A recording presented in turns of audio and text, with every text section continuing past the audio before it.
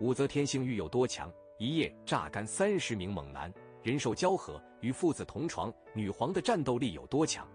女皇武则天号称千古第一女帝，在她身上创造了无数的第一。不过与她传奇的政治生涯相比，好像她的私生活更加有趣有料。传说武则天晚年的时候性欲极强，有道是三十岁的女人如狼，四十岁的女人似虎，五十岁的女人坐地能吸土。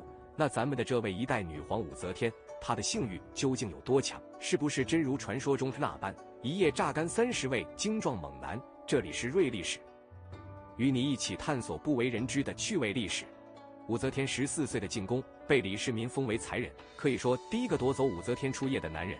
武则天刚刚尝试过男人滋味之后，李世民就不怎么喜欢武则天了，因为后宫美女一大把，压根就没时间也没精力独宠那个时候还名不见经传的武则天。所以啊，武则天当时内心相当空虚，尝过男女之欢之后，又没人来继续填满自己。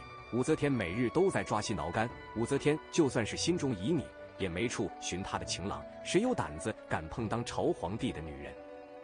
还别说，真就有这么一号人敢跟武则天勾搭在一块，他就是李世民的第九子，后来的唐高宗李治。李治胆子大，敢玩老爹的女人。那段日子，夜夜与武则天成欢，日日交合。而武则天也总算是找到了一个男人可以发泄心中欲火，好不畅快淋漓。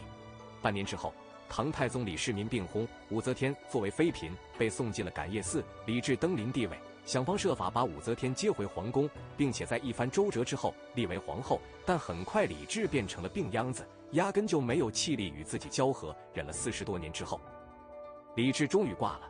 当时武则天已经六十岁了，大权独揽。终于可以肆无忌惮地冲一些后宫男嫔了。不过武则天可是有口味标准的，想要成为她的男宠，必须得是一等一的美男，并且强健有力。用现代话来说，你要不是电动小马达，一分钟八十下的狂甩达人，那是想都别想。有爆发力还不行，必须还得有持久力，一分钟八十下，至少也得坚持八十分钟，要不然女皇武则天要你何用？武则天还在宫廷之内豢养了一支三千人的护卫军，美其名曰护卫。其实就是武则天的男宠，而且那三千人的淘汰率极高，可能今天生龙活虎陪武则天承欢一夜，第二天立马精神萎靡，瘦得皮包骨。这种人只能领了银子出宫自生自灭，而被武则天玩过的男人都因精元狂泻，活成了短命鬼，不消一年便会虚弱而死。武则天曾经一夜遇三十位精壮猛男，最后竟把那三十人炸得嗷嗷直叫，第二天全都变成人干。不单单如此，武则天还在宫廷之内养了一只斑斓猛虎。虽然没人见过，但野史传言，那只斑斓猛虎也是武则天的性发泄工具，人与兽交。不知道是不是武则天第一个发明的，而且敢和老虎玩情欲，恐怕也只有千古第一女帝武则天敢为之。武则天招纳男宠，主要是用来浇灭欲火的。这与武氏家族女性普遍性欲较强的基因有关。武则天的母亲八十八岁时仍性欲十足。竟然与自己的外孙贺兰敏之乱伦通奸。武则天的女儿太平公主、姐姐韩国夫人、外甥女魏国夫人在私生活方面都不是省油的灯，所以武则天也不会例外。那么，武则天在选择男宠方面有什么讲究呢？从现存的文献史料中，可以发现了一些蛛丝马迹。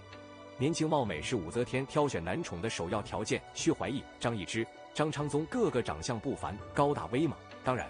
最重要是活干得好。史料中记载，薛怀义非常有采用。武则天试过后非常愉悦。沈南求房事不输薛怀义，武则天也很欢慰。张昌宗床上功夫非常好，而且一支器用还要高出一等。侯祥云阳道壮伟，过于薛怀义，专欲自尽，堪奉臣内供奉。由此看来，武则天对男宠的下体是相当在意的。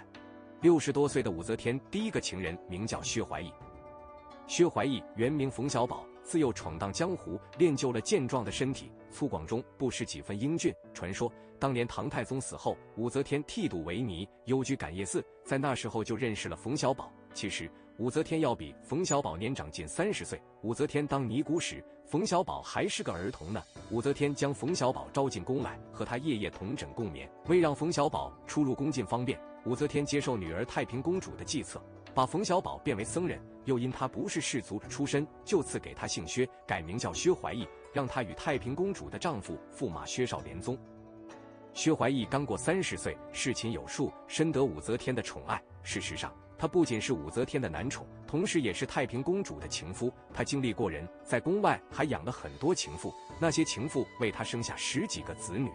薛怀义蒙受武则天恩宠十年，后来御医沈南求成为武则天的新宠。薛怀义身为妒恨，放火烧毁以五百万钱建起的明堂泄愤。于是武则天秘密命见昌王武幽宁率勇士埋伏在瑶光殿，将薛怀义乱棍打死。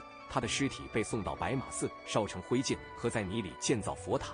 薛怀义被杀，御医沈南求人过中年，又难以满足武则天的要求。七十多岁的他陷入了寂寥烦闷之中，喜怒无常，动不动就责骂宫女，还是女儿了解母亲的心事。六百九十七年，太平公主将美貌少年张昌宗推荐给武则天，张昌宗聪明伶俐，当场献上一曲，然后相拥入内室，侍寝一宿。武则天非常满意。半个月后，张昌宗又将自己的哥哥张易之推荐给武则天。说他哥哥侍寝更有经验。从此，张易之、张昌宗每天随女皇早朝，待女皇听政完毕，就在后宫陪侍女皇。在武则天近似溺爱的宠幸下，这对美少年平步青云，权倾朝野。六百九十九年，武则天设置了一个女皇后宫，名叫控鹤府，由张易之做长官。控鹤府内的官员，除了向女皇提供男性温存之外，另一重要职能是取宴供奉。当时武则天年过七旬。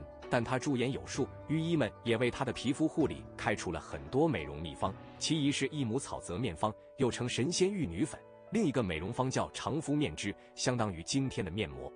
武则天的心腹侍女上官婉正值情窦初开的年龄，一天，她与张昌宗私相调笑，武则天看见，拔取金刀割伤她的左额。武则天怒骂道：“如敢进我禁銮，罪当处死！”亏得张昌宗替他跪求，才得赦免。事后，婉儿在伤疤处刺了一朵红色的梅花以遮掩，谁知却一家娇媚。于是其他宫女也以胭脂在前额点红效仿，并取名为红梅妆。